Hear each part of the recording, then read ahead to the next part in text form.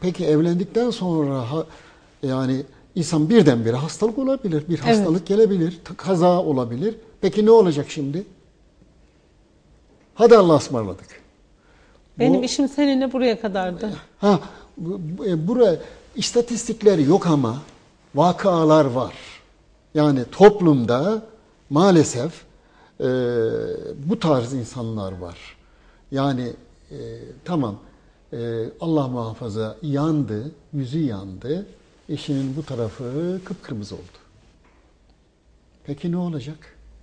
Benim görsel zevkimi bozuyor. Ha estetiği bozuldu değil mi? Hı, Estetiği bozuldu. Benim görsel zevkimi bozuyor. Ben onu çok güzel olduğu için onunla evlenmiştim.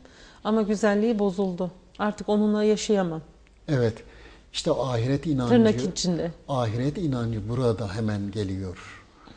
Benim eşim, ben sabrettiğim takdirde hurilerden daha güzel erkekse, e, hanımsa da e, çok yakışıklı dünyadaki bütün yakışıklı insanlardan daha yakışıklı olarak bana verilecektir o düşüncesi. Bu dünya geçicidir. Ben bundan dolayı çok çok fazla sevap kazanacağım. Sadakat dediğimiz durum budur.